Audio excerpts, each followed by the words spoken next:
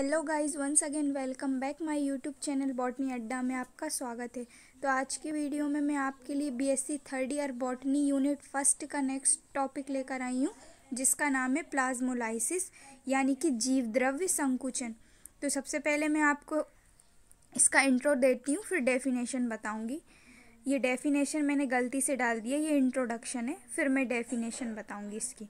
तो चलिए स्टार्ट करते हैं। जब किसी प्लांट सेल को समपराशरी विलियन, अब समपराशरी विलियन क्या होता है?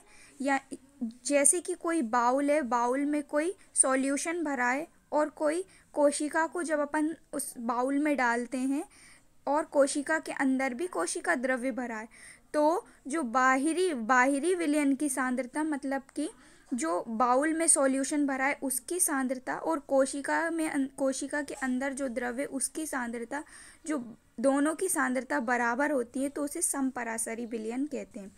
तो जब किसी प्लांट शेल को समपरासरी विलयन में रखते हैं तो दोनों विलयनों का परासरण विभव समान होने के कारण परासरण की क्रिया नहीं होती है।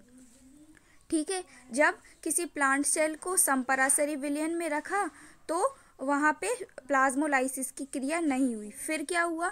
जब किसी प्लांट सेल को अति परासरी विलियन में रखते हैं तो प्लाज्मोलाइसिस की क्रिया होती है। अब अति परासरी विलियन क्या होता है? अति परासरी विलियन क्या होता है? जब बाहरी विलियन की सांद्रता अधिक होती है, कोशिका द्रव्य की सांद्रता कम होती है। ठीक है? मतलब जो वाउल में रखे सॉल्यूशन की सांद्रता ज़्यादा है और कोशिका में स्थित कोशिका द्रव्य की सांद्रता कम है। ऐसे विलयन में जब हमने प्लांट सेल को रखा तो सेल में ऑस एक्जो ऑस्मोसिस बाह्य परासरण होता है, जिससे सेल का जो जल है वो बाहर निकल जाता है और सेल के आयतन में कमी आ जाती है। तो ये प्रोसेस प्लाज्मोलाइसिस कहलाती है। अब प्लाज्मोलाइसिस की दो डेफिनेशन है, आपको जोन सी अच्छी लगे आप याद करिएगा, मैं बताती हूँ। प्लांट शेल को जब किसी हाइपोटोनिक सॉल्यूशन या अति परासरी विलयन में रखने पर सेल का जीव द्रव्य सेल वॉल से अलग होकर सुकुड़ने लगता है, जिसे प्लाज्मोलाइसिस कहते हैं। प्लांट सेल को जब हमने किसी हाइपरटोनिक सॉल्यूशन में रखा तो उसका जो सेल का जो जीव द्रव्य है, वो सेल वॉल से अलग हो गया और अलग होकर सुकुड़ने लगा, जिसे प्लाज्मोलाइसिस कहते हैं। एक और डेफिनेशन है अतिपरासरी विलयन की उपस्थिति में किसी कोशिका में स्थित विलायकों के अणुओं में गमन की वह प्रक्रिया जिसके कारण जीव द्रव्य कोशिका भित्ति से अपना कांटेक्ट छोड़ने लगता है दैट इज़ प्लाज्मोलाइसिस प्लाज्मोलाइसिस कहलाता है।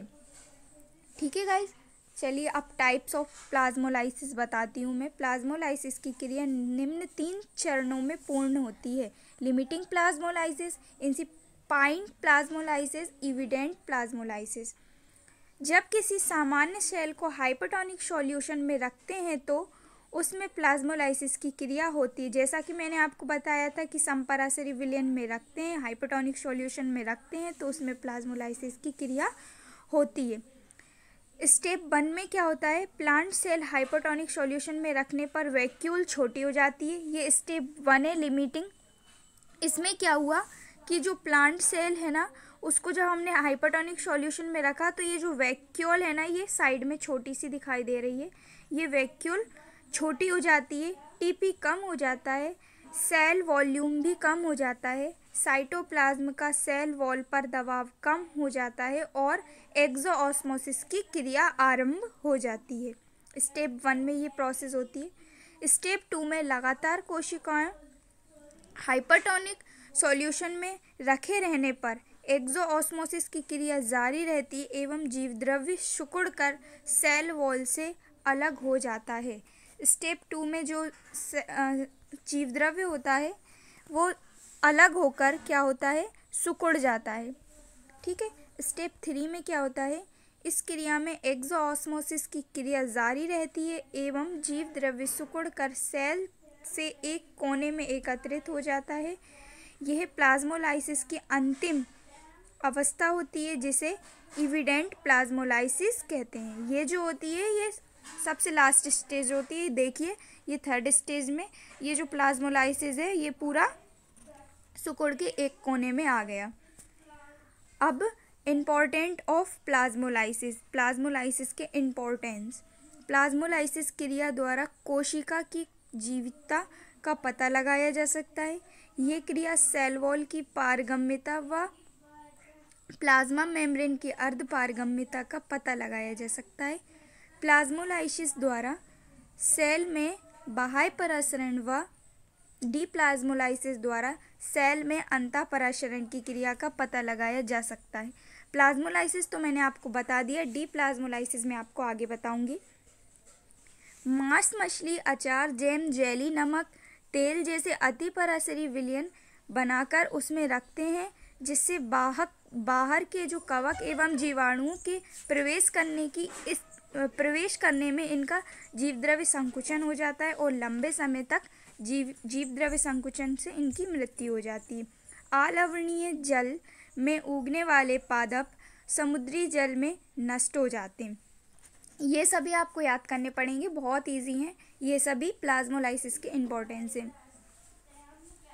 अब डी प्लाज्मोलाइसिस प्लाज्मोलाइसिस के जस्ट विपरीत ये क्रिया होती है, जब जीव द्रव्य संकुचित सेल को अल्प परासरी विलयन अल्प परासरी विलयन क्या होता है?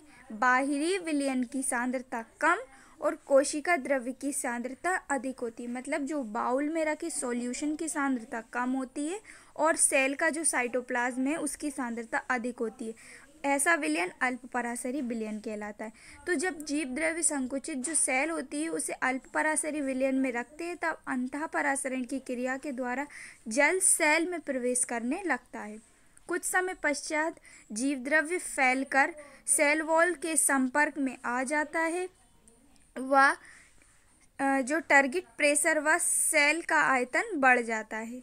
इस प्रकार सेल अपनी पूर्व स्थिति में आ जाता है। ये संपूर्ण प्रक्रिया डी प्लाज्मोलाइसिस कहलाती इसके जस्ट अपोजिट ये क्रिया होती है। ये देखिए, आप चित्र के माध्यम से समझ सकते हैं। जब हमने ऐसे सॉल्यूशन में रखा जिनकी जिसमें जो सॉल्यूशन की सांद्रता है वो कम है और सॉरी एक सेकंड जिसकी सॉल्यूशन की सांद्रता कम है और साइटोप्लाज्म की सांद्रता अधिक है। जब हमने ऐसे सॉल्यूशन में रखा किसी जीव द्रव्य संकुचित सेल को तो वापस से वो अपनी जो पहले स्टेज में थी, वो सेल अपनी वापस वैसी स्टेज में आ जाती है। ये प्रक्रिया डी प्लाज्मोलाइसिस कहलाती है। सो गाइज़ वीडियो अच्छा लगा हो तो लाइक शेयर सब्सक्राइब ज़रूर करें। मिलती हूँ मैं आपके लिए नेक्स्ट टॉपिक के साथ।